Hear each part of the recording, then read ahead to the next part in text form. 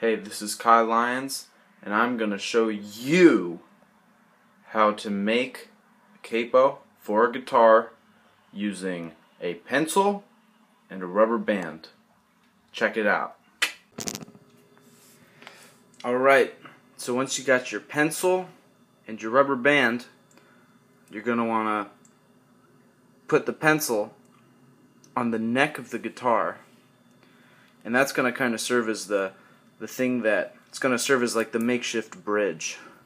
And from there, you're going to take a rubber band, and you want the rubber band to be fairly tight around the guitar.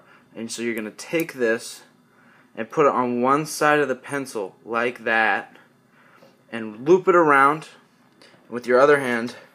Grab it, and then loop it around the other side of the pencil.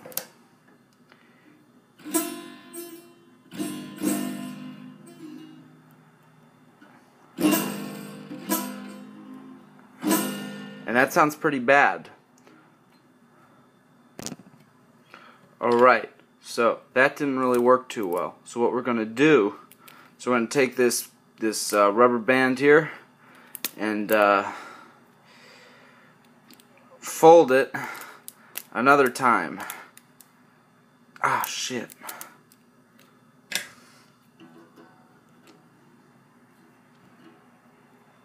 Shit, man.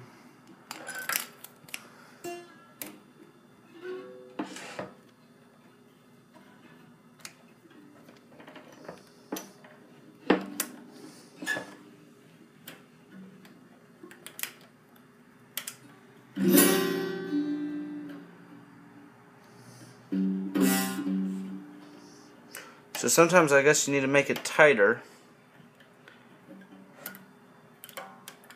And to do that,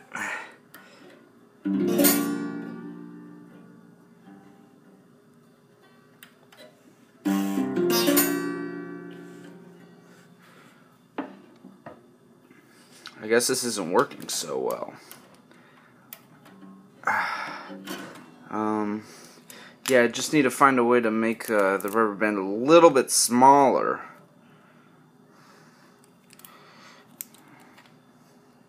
Uh, here we go. This might do it.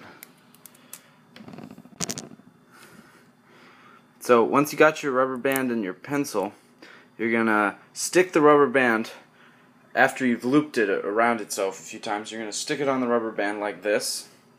And then you're going to put the pencil down and you make sure that the rubber band is sticking in the middle of the pencil and you'll find out why later. And you're going to stick the pencil hopefully with the with the eraser uh, on the other side and you're gonna loop it around. First you have to grab the rubber band. You're gonna loop it around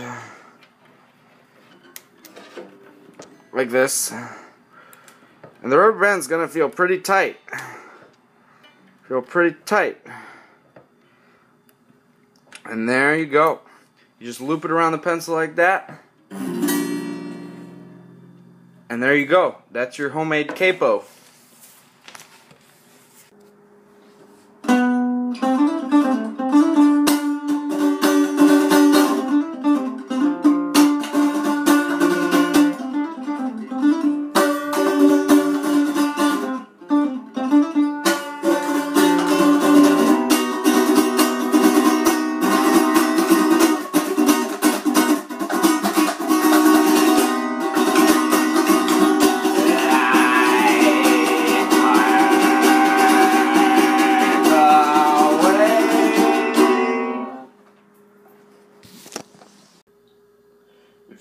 Enjoyed watching this video, please subscribe to my channel, Kai Lyons, and uh, we'll see you in the next episode.